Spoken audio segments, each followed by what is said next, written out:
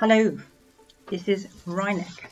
Now today we're going to talk about some th sounds and how the th sound is used in English. There's th for the, th for there, th for there is, th for that,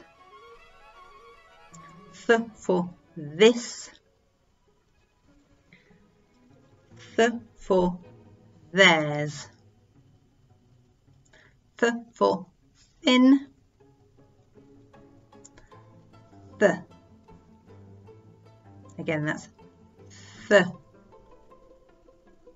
Where the. Where the. The. Thank you. Bye bye.